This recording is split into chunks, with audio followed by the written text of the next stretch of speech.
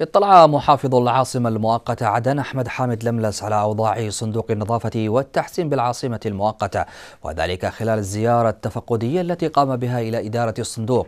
وخلال الزيارة التقى لملس بالمدير العام التنفيذي للصندوق قائد راشد أنعم ونائبه نبيل غانم ومدراء الإدارات وموظفي الصندوق حيث استمع منهم إلى شرح واف عن أعمال وأنشطة الصندوق في مختلف مديريات العاصمة وأبرز المشكلات التي تواجهها إدارته. وتحد من أنشطته وفي مقدمتها النقص الحاد في المعدات والآليات الجديدة والبسط والاستيلاء غير القانوني على أصول الصندوق وتمليك الباسطين بعضا من تلك الأصول من قبل هيئة الأراضي فضلا عن البناء العشوائي حول الحدائق والمتنفسات العامة وغيرها. وحث المحافظ لملس قيادة وموظفي ومنتسبي الصندوق على بذل مزيد من الجهود ورفع وتيرة العمل في مجالس في مجالي النظافة والتحسين مشددا في السياق على ضرورة تحديث طرق وآليات عمل الصندوق وتحسين أدائه وخدماته وموارده وترشيد الإنفاق والحد من الصرف غير الضروري بما يكفل الحفاظ على موارد الصندوق.